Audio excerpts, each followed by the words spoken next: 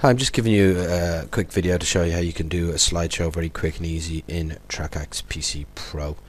Um, here I have a folder, so um, the media browser finds all the media in your hard drive, so here's your C drive.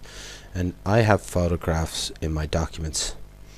And then I can just go down and find the folder that I know the files are in. So here I have a uh, folder called Ruby, and here I can see all my images so I can just click on them to preview them.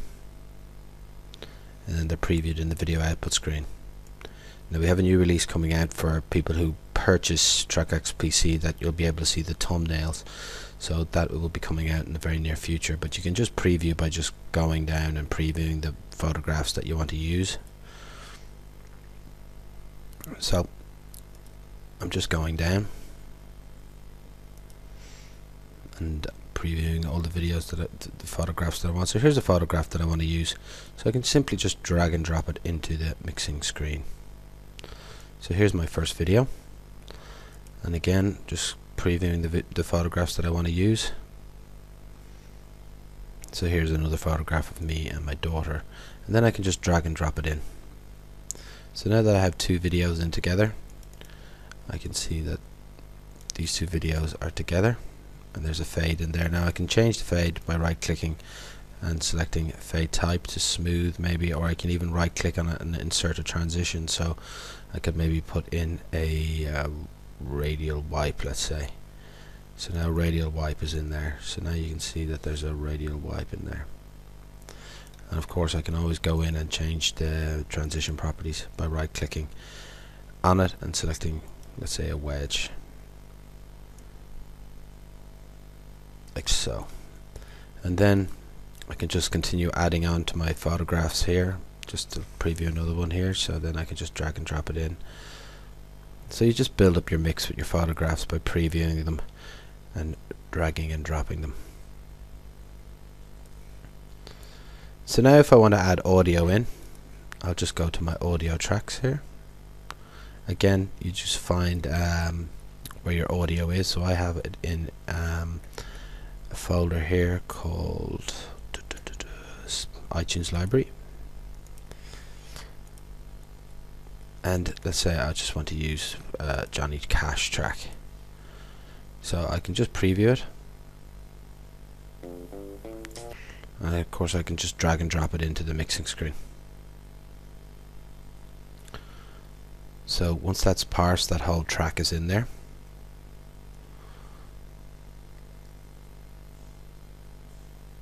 and so when the track is brought in you'll see that it's, it's automatically bound to the global tempo of 120 BPMs but I just want to play it at its normal detected BPM so I'll just unlock the track from its beat syncing. And then I can just move it anywhere I want. So it'll just play at its normal speed.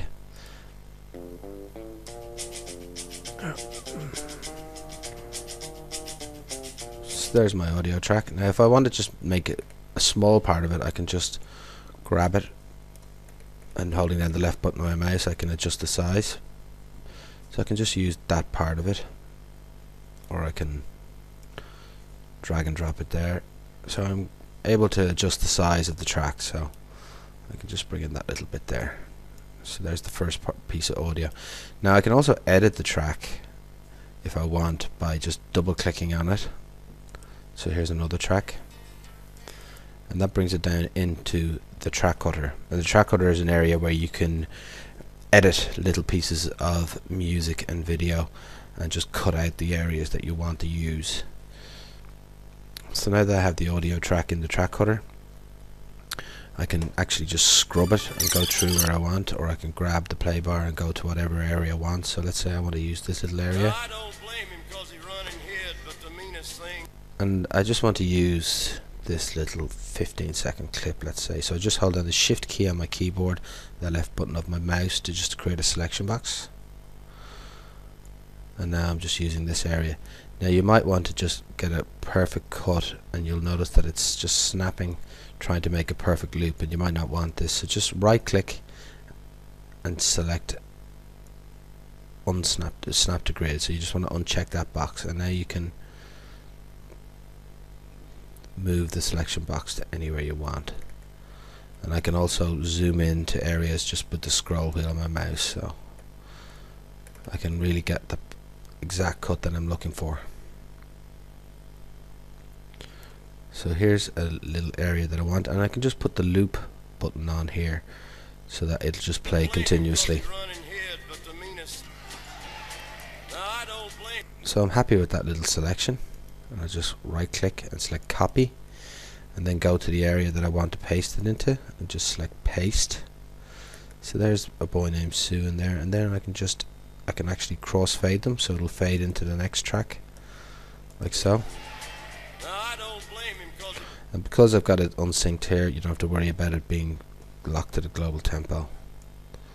So it's just a very simple process of just dragging and dropping photographs and audio in and cutting it in the track cutter if you want. So you can just make another cut hold the shift key and the uh, on the keyboard and the left button of the mouse.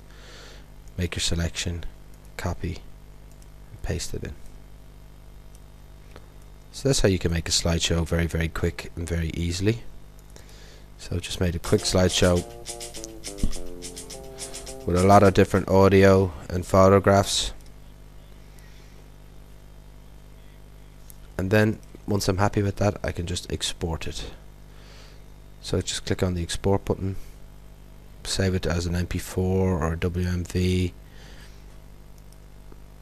and then you can change your audio codec for better quality 256 to 128 the highest quality is at level 5 you can improve the frame rate up to 30 or down to 20 it really depends on what you want. And then your your frame size how big you want it to be. You can be you can have it 640 by 480 and you can go up to 1280 by 720 which is YouTube HD uh, really you can do whatever you want. So it's just a simple process of dragging and dropping and then bringing your audio in unlocking it to the global tempo and then making your cuts I hope this video helps and if you've got any questions please don't hesitate to contact me. Best regards Cormac